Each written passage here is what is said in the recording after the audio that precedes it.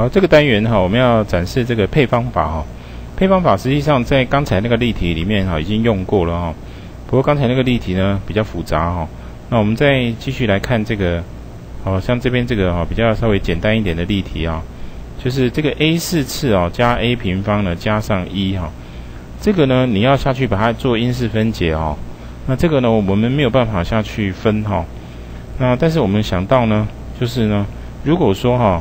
把这个中间这一项哈，a 平方哈，把它呢变成呢这个二 a 平方哈，然后再减一个 a 平方回来哈，也就是说，我们现在把这个一个 a 平方哈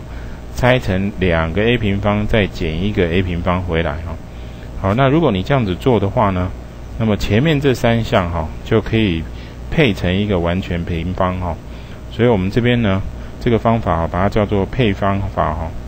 那这个是什么的完全平方呢？它其实呢就是 a 平方加一的完全平方哈。啊，然后再减掉后面这个 a 平方抄下来哈。那前面这里哈，我们来看一下哈，就是呢，你如果把这边看成是大 A 哈，加上呢 b 哈的平方。那这个 a 加 b 完全平方哈，就可以把它拆成呢 a 平方哈，加上二 ab 哈，再加上呢 b 平方哈。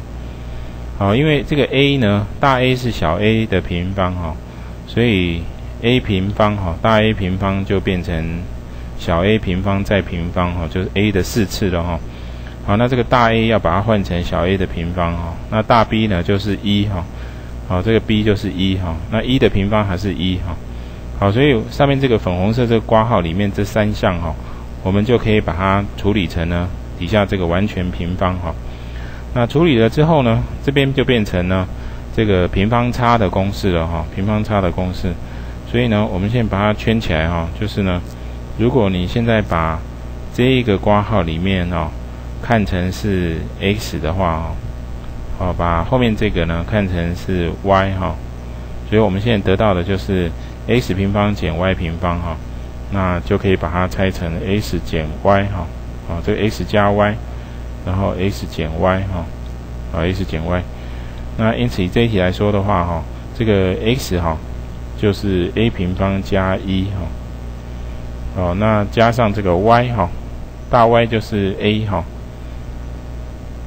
好，那 x 呢就是 a 平方加一哈。然后减掉这个 y 哈，y 就是 a 哈，好，所以你再把它呢降咪排列一下哈，这一题因式分解就得出来哈，就是 变成 a 平方加 a 加一哈，再乘上呢 a 平方减 a 再加一哈，我们就可以把它因式分解成像这种格式哈，好像这种格式。